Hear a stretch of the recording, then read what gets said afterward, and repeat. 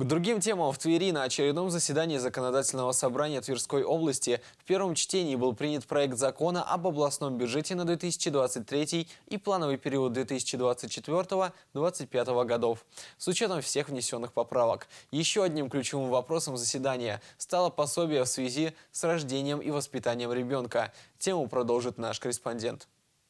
Основной темой заседания регионального парламента стал проект областного бюджета на 2023 и два последующих года. За основу при формировании был принят базовый вариант прогноза развития экономики с учетом всех условий. В первую очередь в нем предусмотрены средства на строительство объектов социальной и инженерной инфраструктуры. Бюджет предусматривает выполнение всех социальных обязательств Тверской области перед всеми категориями, предусматривает развитие, как я уже сказал, 29 а, государственных программ, где в том числе и адресная а, инвестиционная программа, которая будет увеличена.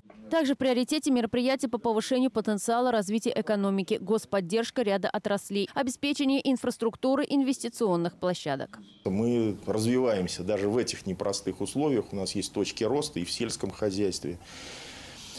и в дорожном строительстве, и мосты строятся, и газификация области идет. Поэтому, конечно, большие инвестиции, я бы отметил, связаны с тем, что мы получаем поддержку серьезную из федерального центра.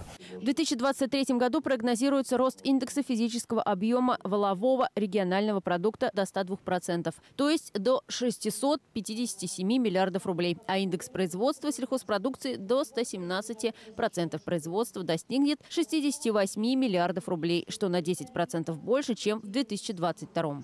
Интенсивная работа с правительством и в законодательном собрании позволила сделать э, сбалансированный бюджет, который позволяет выполнить все текущие обязательства, э, предусматривает проекты развития и хочется отметить, что он получился социально ориентированным и особенно выделить помощь бойцам, которые сегодня несут службу на СВО. А, забота о семьях будет продолжаться. Еще один вопрос на повестке дня – закон о ежемесячном пособии, которое выплачивается в связи с рождением и воспитанием ребенка. Пособие объединит в себе шесть выплат, при этом сохраняются действующие пособия семьям с низким доходом, назначенные до 1 января 2023 года. Это выплаты на ребенка от 3 до 7 лет и от 8 до 17.